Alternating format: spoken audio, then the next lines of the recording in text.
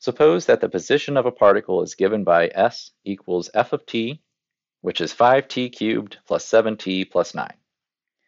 Find the velocity at time t. So the rule here is velocity is defined as the first derivative of position. And there's not really much you need to know about how those relationships actually work. Um, you'll learn that in a physics course. Here, we just need to know that rule. So the velocity is the first derivative of position. So the velocity function would be 15t squared plus 7.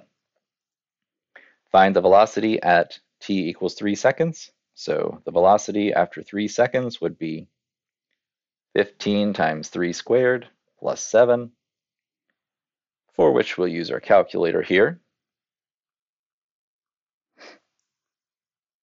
which is 142.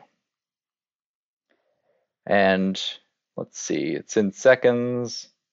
Doesn't seem to give a unit for um, for distance here, so that's fine. I'll just leave it unitless. Find the acceleration at time t. Okay, well, likewise, acceleration is the derivative of velocity, which is effectively the second derivative of position. So that's another fact that you need to make sure you know uh, of the relationship between position, velocity, and acceleration. So the acceleration is the derivative of the velocity function, which would be 30t. And the acceleration at 3 seconds would be 30 times 3, or 90. And that could be in meters per second squared, something of that nature, uh, but I don't see any units given here, so that's a fine answer.